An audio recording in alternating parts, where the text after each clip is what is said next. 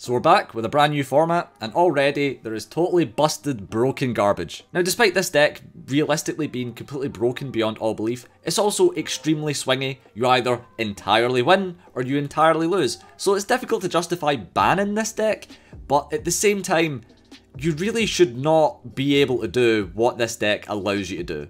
And given the extreme meme stats of this deck, I think it was worthwhile just getting out of the way before we can really dig our teeth into the real decks of the format.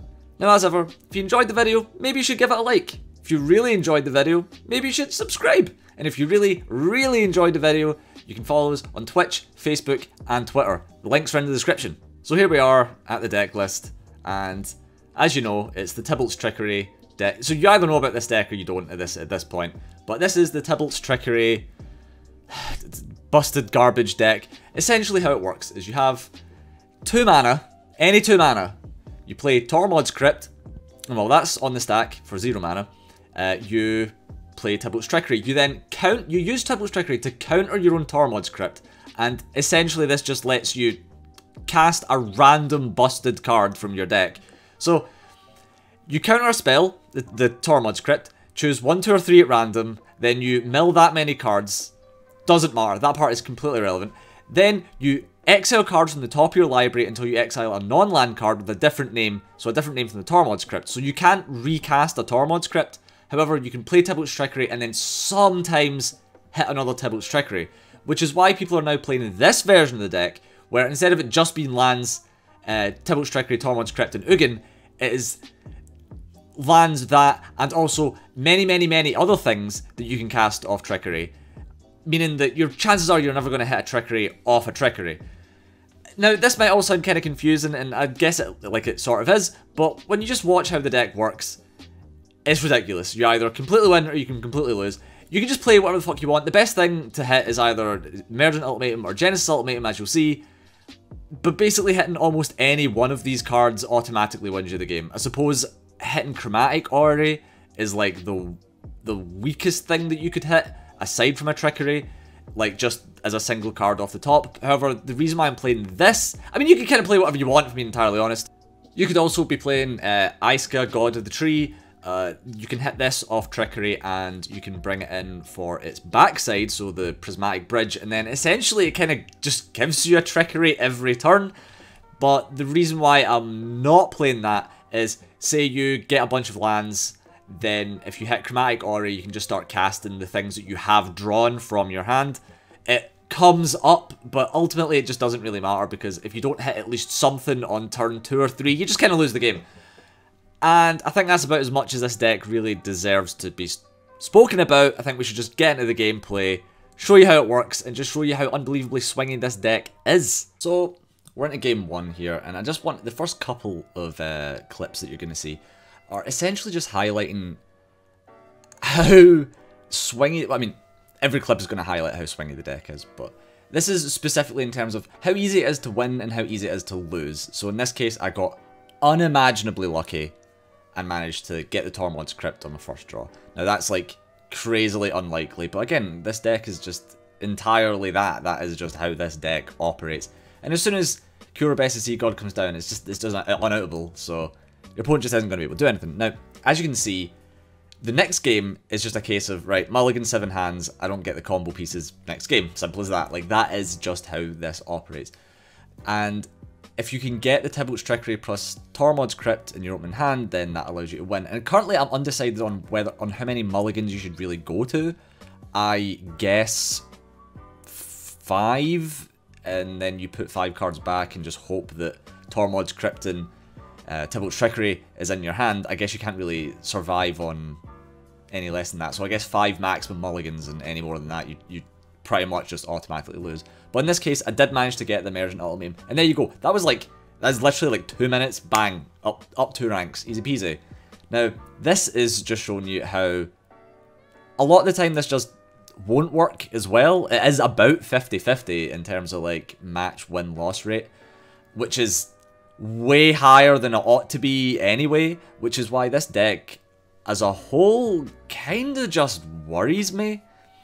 Now something I do want to just mention just now, I hope you quite enjoy this particular format of the video where it's clips I already have and it's me kind of analysing and go over going over them. Uh, personally, I prefer doing it this way because I can get better footage and make it more concise. Uh, you know, the videos just flow a little bit better. Anyway, in this case, I do get a good game, and game one, I go in, get the good hand, get uh, Emergent Ultimatum, get Tibalt, and again, uh, when you use Emergent, Emergent Ultimatum on the Tibalt card, you can pick either the front or back side on what one you want to put in, which is just like super broken. Now here we go, I don't actually... In this case, I'm like, right, okay, I've got two Tormod's Crypts, and I'm super, by the way, I'm super inconsistent in what I keep and what I don't keep. It is literally just what I'm feeling at the time. And in this case, I'm like, I've got two Tormod's Crypts. Maybe I'll get the, the Trickery. Turn 4 is about as long as you can wait for this deck. Uh, as soon as it gets like turn 5, no matter what you cast, unless you manage to get Emergent Ultimatum, which is... Emergent Ultimatum and Genesis Ultimatum are like the two best cards that you can hit off the deck, realistically speaking. But if you can't get them by turn, like I said, like turn 4, you just you just lose, really. Um, now, there is another thing to mention when it comes to this deck. You can essentially, like, Tibalt's Trickery is the more important card to get in your hand because you can turn for the combo by using uh, the Tibalt's Trickery plus the 2 mana half of the Tibalt Planeswalker. I cannot remember what the what the name of the, the card is, but the, the one where the front side is like the 2 mana guy. So it means you can cast that, counter it with Tibalt's Trickery, and then go off on turn 4. Um, again, I would only have... This is only good if you're going first as well, it's less effective if you're on the play, because your opponent gets their turn 4, then it's your turn 4. So, uh, in this case, I, I just, like, uh, it's just, like, I lose. Um, I'm just hoping to God that I can draw the Trickery, but at this, at this point, it is his turn 4, he's, like, getting cards out my hand, and then he's able to set up and make the push way before I'm able to do anything, like, anything even remotely useful in terms of furthering my own game state. So, it's, it's, again, you know, I just need to reiterate, like, this deck is going to be a problem. It will probably burn itself out in terms of its um, novelty appeal, but as I was just trying to play the game, obviously it's going to feel very much like you're constantly losing to this by people going up turn two, get the combo, and it feels so bad. And as you see there, bang, I just can't do it. And then Mulligan, nope, Mulligan, nope, and then we need to wait because he takes quite a while uh, to do to do their mulligan. Mulligan again, mulligan again. Nope, nope. Uh, get three trickery. Nope. Ah, that's it. You just can't do it. Now, theoretically, I guess you could also counter Tibalt's trickery with Tibalt's trickery, but then you run the risk of hitting a Tormod's crypt. But I guess that works with um, with anything really.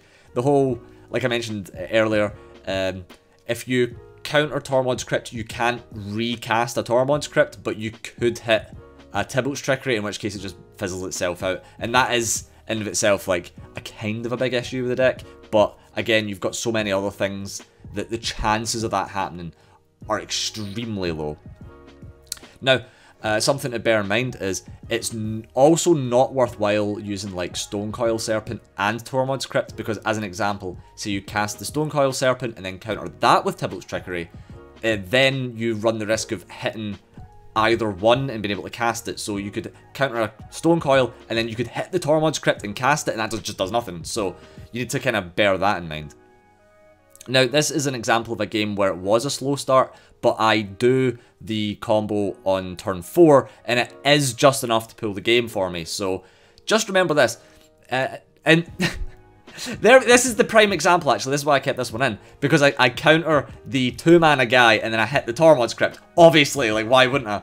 And because of that, I just can't win the game. So, just bear that in mind, really. So here we go, Mulligan Hard.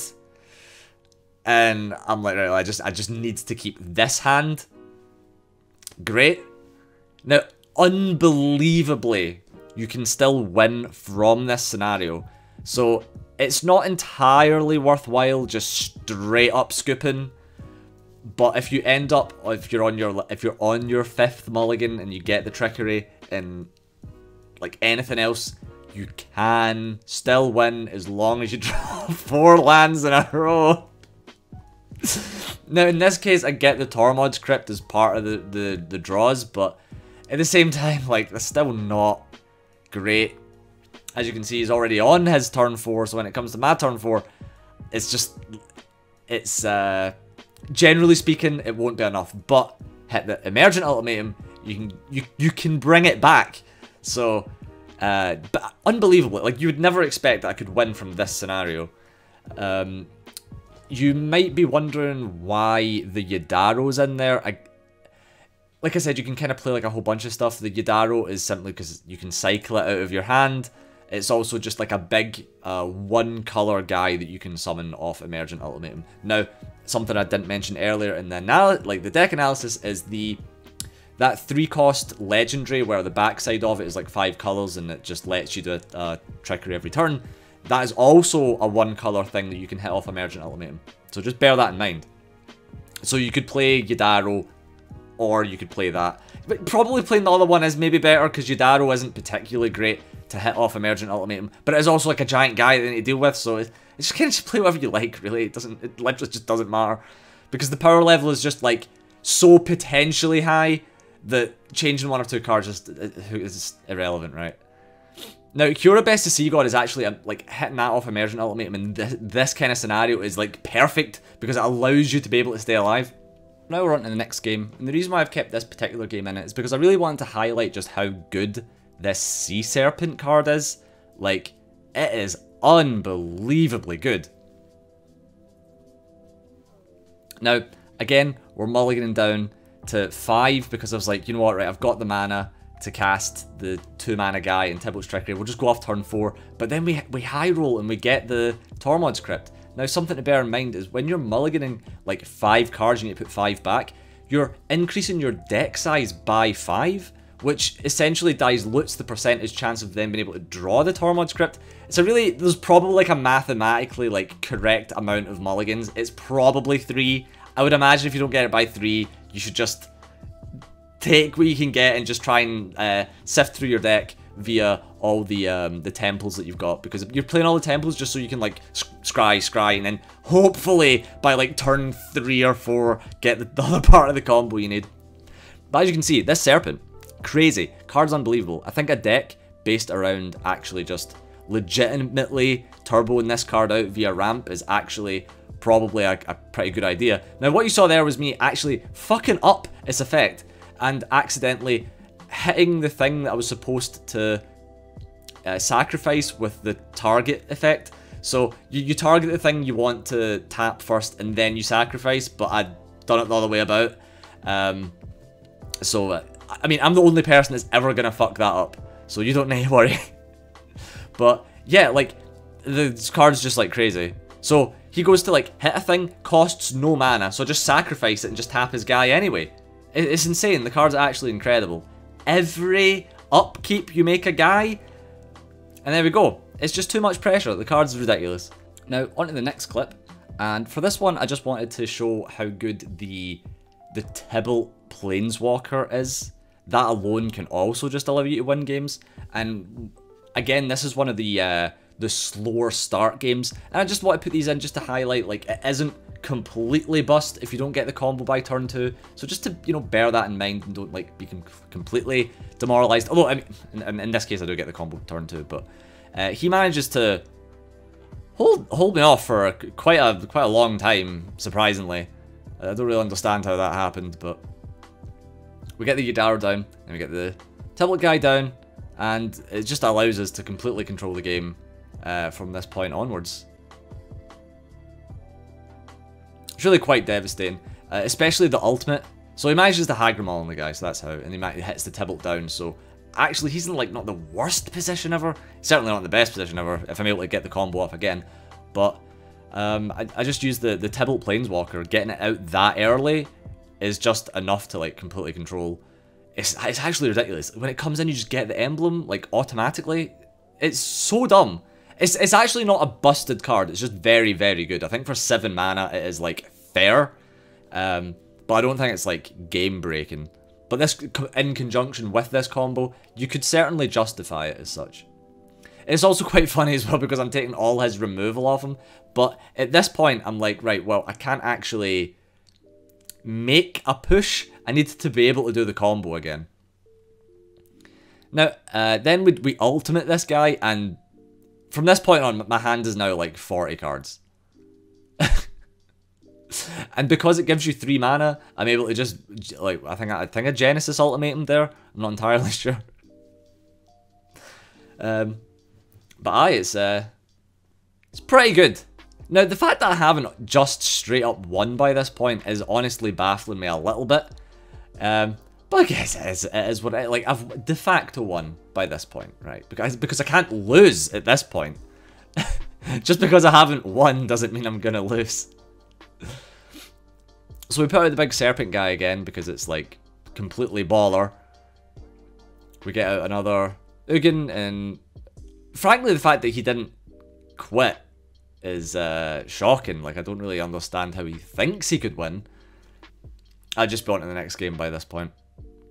But as you can see, this uh, Tibalt card is really, really good. Especially because it allows you to just play things for whatever colour of mana. Like, how is that fair at all? Now, I can't quite remember how I kill him. Oh, right, so he taps, like, his own guys, which means I definitely kill him.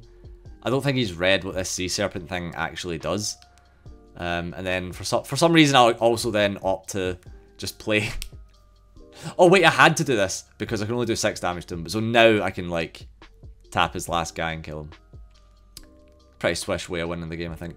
Now, this last clip is hilarious. Um, and I'm not going to ruin it for you. But it's just, it's probably the last thing that this deck can, like, do is, like, a little, I guess, trick, I suppose. So we're up against Mill, and Mill can be, frankly, devastating, especially on, like, a kind of shitty opening hand such as this. Because they can just mill the Tormod's Crypt. And that, you ain't going to have a good time if that happens. Now, I'm pretty sure in this case, I probably do, like, counter a trickery with a trickery. I imagine that's what happens. Oh, no, we just get the Tormod's Crypt. Right, well. But I, in this case, I could have, like, trickery to trickery. Then we just, like, massively go off with two Kioras. It's so dumb. But remember, he is playing Dimir, so he can just play a board wipe, but just trigger and counter it. which is so hilarious. So beyond hilarious. And even though he hits a counter off Trickery, like, Trickery resolves, counters his thing. so ridiculous that I was able to do that. Because otherwise he would probably have won if we're being entirely honest. So, oh god, I mean, if I was him, I'd be just so, so raging. But that is it. That is the deck. And that is also the video because there isn't so much else to do here.